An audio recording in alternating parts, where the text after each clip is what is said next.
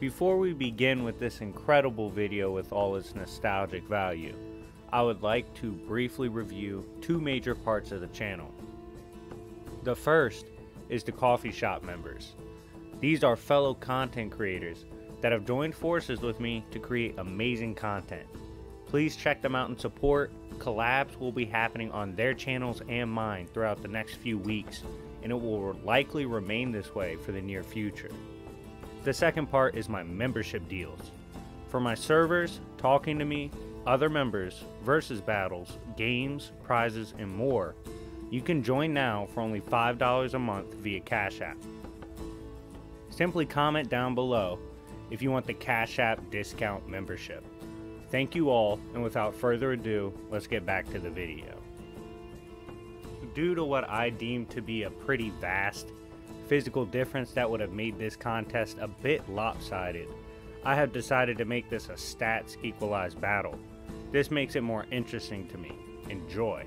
So, before we start, let me talk about the breakdown approach I went with on this one since it's stats equalized. I will be reviewing three main components of each character. First one, skill and intelligence, what they have done in that department. Two, a review and measure of their hacks and abilities. And final one will be examining their gear. My sources for this is the main series books for each, not including branch off series feeds. I hope you guys enjoy this. It's a very nostalgic battle for me. Without further ado, let's begin and start with Harry Potter. Born a child of a twisted prophecy, baby Harry Potter was nearly killed by his fated rival, the Dark Lord Voldemort. Fortunately for Potter, he survived thanks to the loving sacrifice of his parents, Lily and James. Bearing a lightning shaped scar to remind us, as the readers, of his plot armor, Harry grew up away from the wizarding world in an effort to keep him safe. This meant growing up with his hateful relatives, the Dudleys. Eventually, Harry was old enough to attend Hogwarts, the wizarding school.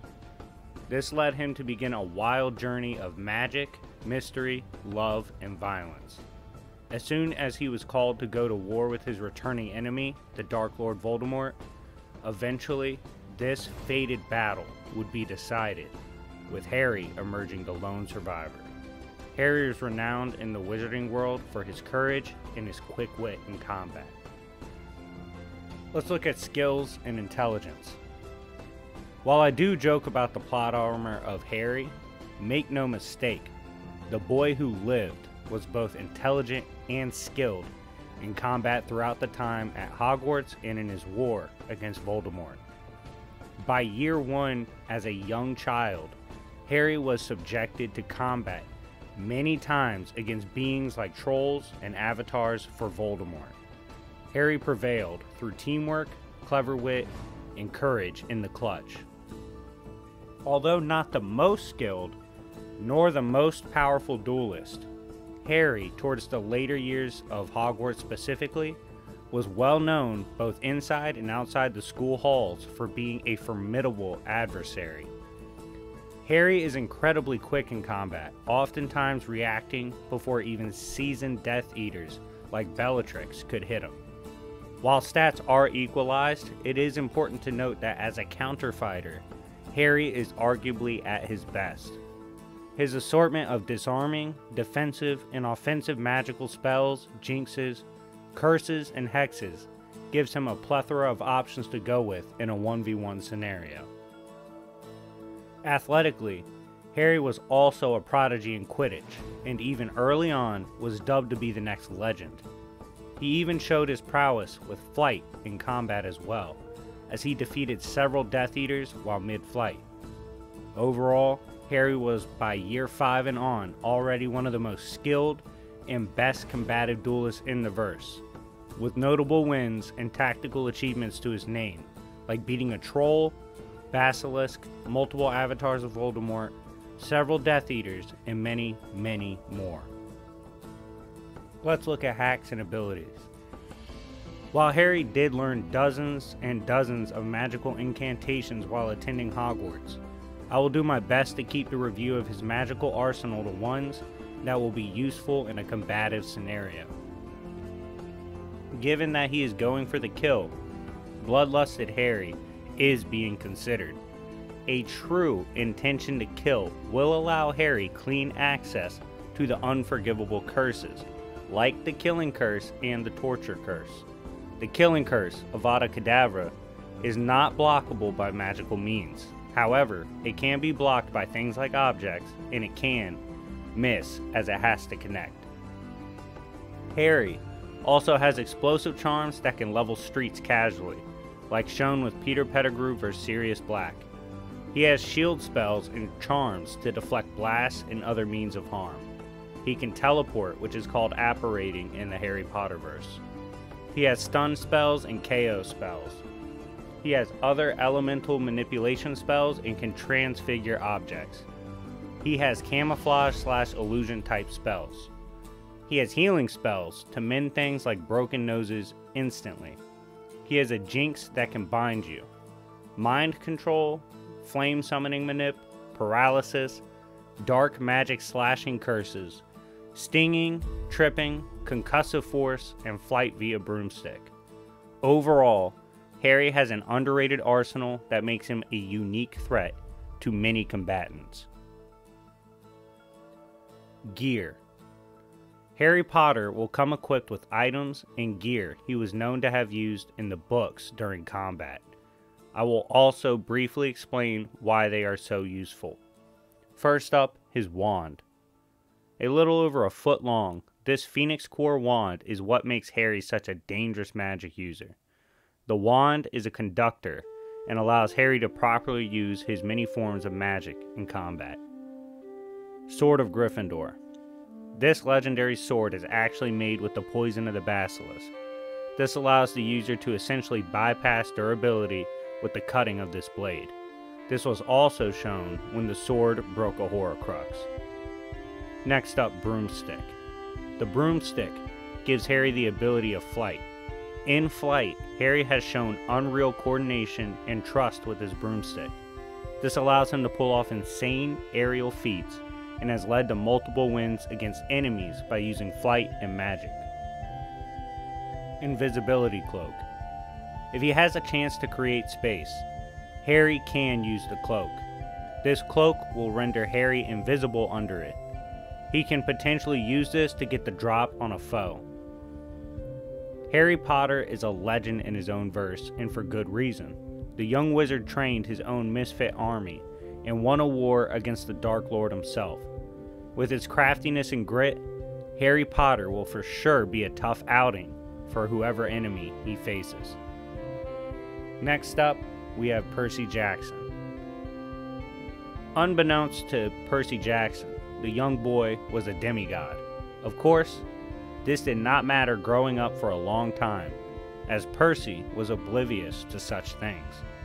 When he was finally shown his true godly nature and was taken to Camp Half Blood, things took a major turn for the young demigod. Very quickly, Percy was forced to endure intense training and had to bond fast with his new allies. This was because Percy was fated to help save the world on many occasions. Given his true natural power, his heart, and his fearlessness in combat, Percy soon became a legend among his peers as a true warrior of the sea. Skill and intelligence. Very quickly, after assuming training and assembling an impressive resume, it was soon apparent that Percy Jackson was a monster in combat. Being a demigod, Percy has a few inherent biological advantages when it comes to combat. For one, his mind is wired different. Appearing to others as ADD, this is actually due to his mind constantly being wired for fast paced, turbulent combat. He also has incredible perception, oftentimes seeing things slow down in combat. Percy has bested some of the most formidable warriors in the verse. In just a short time training at the new camp, Percy was already considered one of the greatest swordsmen in hundreds of years. This includes demigods, beings with the same inherent advantages as him, and oftentimes with more training and experience. Hell, Percy has even gone toe to toe early on with Ares, the god of war himself. He was not as skilled as this god. However, Percy was unorthodox in his approach to combat, which made him hard to deal with. He also was a nearly unrivaled elemental manipulator, with his specialty, of course, being in both water summoning and manipulation. Percy is not just a beast in one on one combat. Percy has many noted wins later on in the series as both a small platoon leader and a general in major conflicts. His trust in allies and his trust in his instincts allows Percy to flourish in combat. His skill with his blade is some of the best in the verse, as he has gone toe to toe with universe renowned duelists and held his own. He has also one shot monsters and beings bred for war with ease. It's safe to say that as a strategist and a duelist, Percy was quite literally born to succeed. Let's look at hacks and abilities. The great son of the god of the sea, Poseidon, Percy was destined to command water like a king. Of course, he did not fail to live up to this. Percy is a completely versatile water manipulator as he progresses throughout the series. Percy can manipulate anything from fountains of water to massive hurricanes and rivers of fire. Percy is not just dangerous manipulating water, though. He showed later on that one of the perks of mastering his power was summoning water from places that used to have water. In water, Percy receives massive amps, this goes as far as healing Percy from near fatal wounds in just a matter of moments. In water, Percy has complete awareness of his surroundings and it is near impossible to catch him off guard. He can manipulate water into funnels and tornadoes with even massive hurricanes. He can process things at a much faster rate in combat given his demigod heritage. He can also instantly revamp stamina with water. Percy can also manipulate other forms of water like vapor. He also has the Mark of Achilles, which can boost his durability. This basically allows Percy invulnerability to damage except for a vulnerable spot, which is on his back, I believe. He also showed that through water and water life, he can neg magic and hacks like illusions. Now let's look at gear. First up is Riptide. This is the trusty altering sword of Percy Jackson. Disguised as a pen, Percy can instantly transmute it to sword form with just a thought. On top of this, if lost in battle, the pen will eventually always return to Percy's pocket. Blackjack, the Pegasus. This is, of course, a magical flying, mythological horse race. This horse grants Percy the ability to fly. Of course, due to ha- his hacks as a demigod, Percy can telepathically talk to any animal race that was once related to the sea, which includes the Pegasus. This allows him more creativity in combat using the flying horse. Overall, the Boy of the Sea, Percy Jackson, is one of the most feared demigods in the history of his verse and is a young warrior all people should respect. So, if these two legendary combatants, two legendary iconic figures from my childhood, were to clash in a stats equalized battle, who do I favor? Well, let's look at the three categories first skills and intelligence. I favor Percy. Already one of the most famous and skilled combatants in his verse, which includes gods, I just think he has a pretty sizable advantage in that category over Harry, who simply does not have as much skill and experience as Percy. Looking over at hacks, I favor Harry. He has more versi- versatility, especially when we look at it from a stats equalized perspective. All the things he brings to the table with his multitude of spells, jinx, curses, and hexes. Uh, it's a lot being thrown at Percy and I think it's a more versatile arsenal in a stats equalized scenario. Finally, gear. Um, I think it's tied.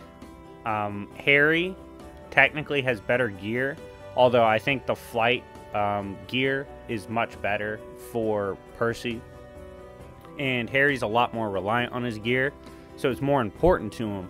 But that doesn't mean it's better, so I don't think that one as matters, but as much. But in the end, who do I see winning this? I got Percy. I think his water manipulation, hit the amount he can summon, the storms he can summon, the area of effect he has, and his skill as a fighter and a tactician, I think will eventually be too much for Harry, who can create distance and keep him away with his versatility.